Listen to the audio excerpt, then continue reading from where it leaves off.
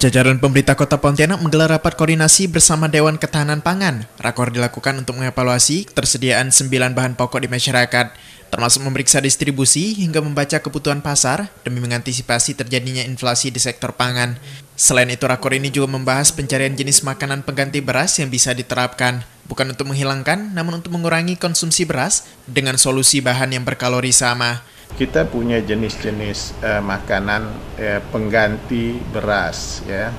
Dan itu tinggal uh, Dewan Ketahanan Pangan uh, mencari solusi supaya masyarakat mau beralih minimal untuk mengurangi dulu. Bukan mengganti. Kalau mengganti itu sulit. Mengganti beras dengan uh, jenis tanaman lain yang kalorinya mungkin sama atau lebih rendah itu eh, sulit tapi mengurangi konsumsi beras dengan me menggantinya sebagian dengan bahan pangan lain itu mungkin bisa. Saat ini pasar Pontianak masih sangat bergantung dengan permintaan barang dari wilayah lain. Perlu pengendalian yang baik agar suplai cukup memenuhi jumlah kebutuhan.